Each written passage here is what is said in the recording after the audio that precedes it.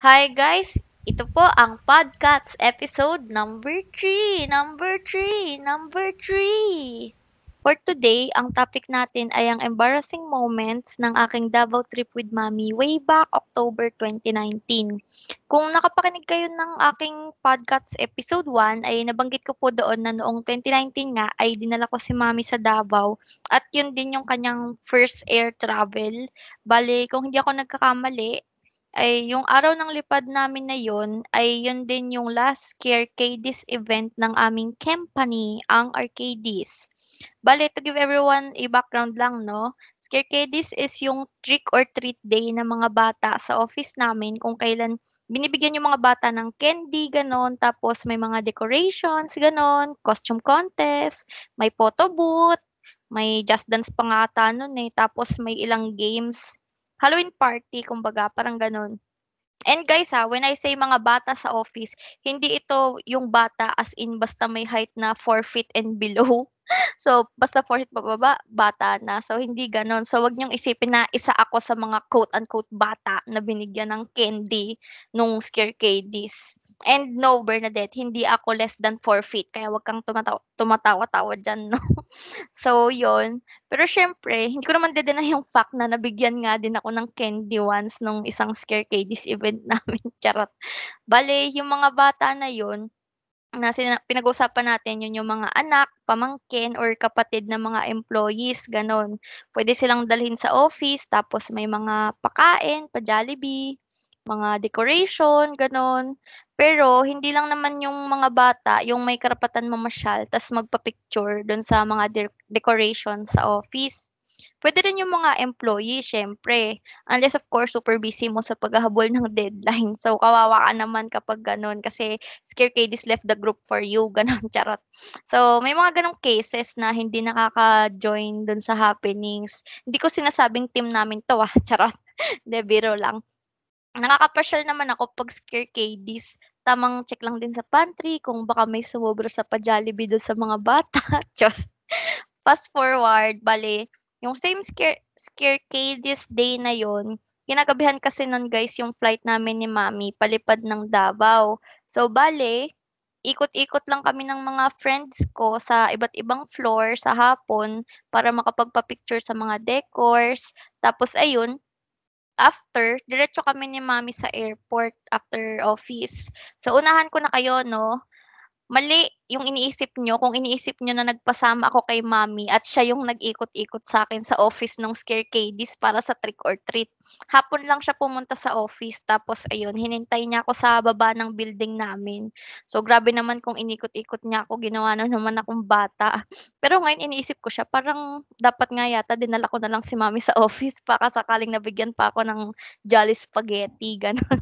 Next time siguro alam ko na ang idea. Charot. So, fast forward, de yun, punta na kami sa airport.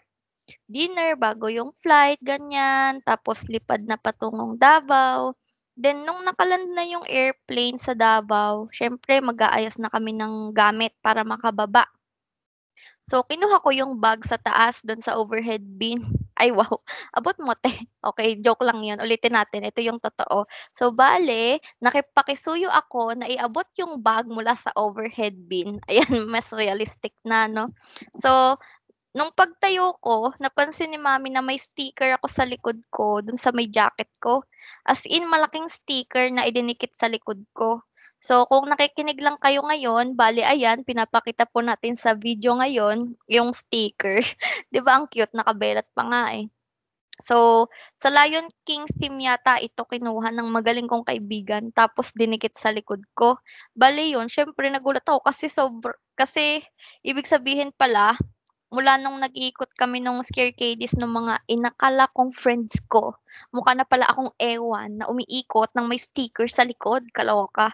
So, sobrang nakakatawa siya at nakakahiya at the same time kasi siyempre baka iniisip ng mga nakakita sa office binubully ako sa team namin, gano'n. So, takang-taka kami ni mommy. Kasi ba't 'di niya nakita agad? Kasi tagal na namin magkasama 'di ba, mula hapon. Pero kasi naka-backpack ako no'n na malaki kaya natakpan din siya nung siguro nung naglalakad kami hindi napansin ni mommy.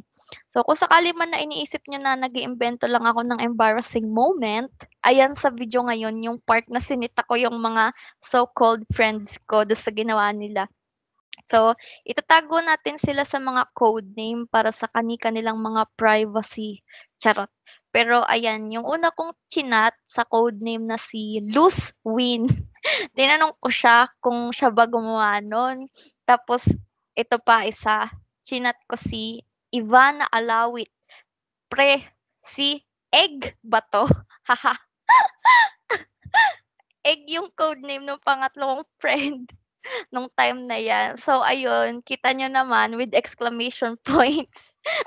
Dito, nasa Davao, nakita ni Mami sa airplane. Legit, grabe. Ito pa isang conversation namin ng isa kong friend na itago na lang natin sa codename na Momsh. Kasi nahirapan ako mag-isip ng codename eh. Wow. So, ito. Besh, ang galing-galing nyo, kaya kayo nanalo kasi ipinarado ko yung sticker nyo, sabi ko sa kanya. So, ayan, tinanong ko na din siya, Moms, aminin mo, nakita mo ba yung sticker sa likod ko? Hahaha. So, ayan, kita nyo naman reply ni Moms. Laking pasasalamat ng 6th floor sa'yo, Momshi, kasi dala mo ang pangalan ng floor namin dahil sa dala mong lion. Yan, all caps, hahaha pa siya eh. So, sabi niya, Momshi, dapat sasabihin ko sa'yo, kaya lang pinagbantaan ako nung friend mo na si Egg, huhuhu. Sabi ko sa'yo, di ba? Peg mo ba yung floor namin at may dala kang yun, dot, dot, dot, yun na nga. Tapos yun, na-cut off na nga daw siya nung aking mga so-called friends. Eh di wow, char. So, ayun na nga, ang kala daw ni ma'am ay tatanggalin na, naman ng mga friends ko eventually, pero ayun, ganun na nga yung naging desisyon nila. Hinayaan na lang ng mahuhusay kong kaibigan na dalhin ko yung nakakahiyang sticker patungo sa Davao. Kakaloka, no? So, ito yung conversation namin ni quote unquote ni codename Egg nung sinita ko siya. Sabi ko, gusto kong sumabog at magsabi ng mga masasamang words. Kailangan, uh, kailan ko daw nakita. Sabi ko, yun nga, si mami pa yung nakakita. Pag land ng airplane pa sa Davao nakita. Imagine. With, with madaming exclamation point. So yun, nakakahiya na nakakatawa. Ayun, nagets niyo ba yung nangyari? Sana naman 'no, kasi nga may pa-visual aid pa nga tayo ngayon 'di ba, nakakahiya naman sa'kin kung di niyo na-gets, char. So yun. So yun yung una. Bale yung second na embarrassing event na nangyari sa akin sa Davao trip namin ni mami, is yung habang namamasyal na kami. Kasi hindi niyo na itatanong, pero yung pasyal na yun namin ay may halong trabaho talaga. Sa katunayan nga, sagot ng RI yung hotel namin nun. Yun, thank you RI, RI number one. Okay, may turo din kasi talaga ako nun sa RI Davao. So, ang system namin ni mami, namamasyal lang kami kapag vacant time ko. So, lunchtime or after class kasi umaga tsaka hapon yung klase ko dun eh. So, bali ayun, namasyal kami sa People's Park sa Davao, ikot-ikot, ganun. Picture-picture, ganun. Tapos siyempre need namin agad bumalik sa hotel kasi may klase pa ako. Tas ayun, bago tuluyang umalis dun sa People's Park, siyempre nag-picture-picture muna kami dun sa harapan ng park. So 'yan, selfie kami ni mami gano'n, picture-picture, selfie-selfie, nang biglang parang may naramdaman akong something sa may ulo ko. So kinapa ko, pagkapa ko, basa, tapos tiningnan ko kulay white. So, inamoy ko 'no, inamoy ko talaga. Ta's ayun, naiputan pala ako ng ibon sa ulo habang nagpi-picture kami, grabe. Medyo madami siya. Sayang, may picture 'yun alam ko, eh. Kaso ayun, nasama dun sa pagtangay nung nagnakaw nung cellphone ko, 'di ba, 'yun nga nung shinare ko sa inyo nung ating episode 1. So 'yun, siyempre super panic ako nun kasi, ah, need namin bumalik kasi 'di ba may klase pa nga ako after. So, siyempre alangan naman din na pabayaan ko sa sa buhok ko yung ipot nung ibon. So, pumasok ulit kami dun sa park para maghanap ng CR tapos sa lababo nun, tinry linisin ni mami yung buhok ko. Pinagtitinginan kami nun sa habang nasa CR. Grabe. Tapos ang nakakatawa nun, hindi ko pa abot yung lababo. So, siyempre todo tingkayad pa ako para umabot yung ulo ko dun sa gripo, kaloka. Lalo nakakahiya. So yun, naalis naman siya pero nafi-feel ko pa rin yung galit nung ibon dun sa may bumbunan ko. Kaya sabi ni mami, i-shampoo na lang muna namin pagbalik dun sa hotel. So, Sayang naalala ko may video yun, eh, nung naghahanap kami ng CR kasi nga dapat nung time na yun, um, may vlog kami ni mommy kasi yun yung first time niya sa Davao. Pero nanakaw nga kasi 'di ba yung phone ko kaya yun nawala. Natangay na din nga kasi yung memories dun sa cellphone ko nung aming Davao. Kanang kawatan nga piste oy, sayo. So pagbalik namin dun sa hotel, yun shampoo lang na mabilis tapos yun na-late na ako sa klase. Pero may magandang part naman yun kahit papaano. Alam niyo kung ano yun?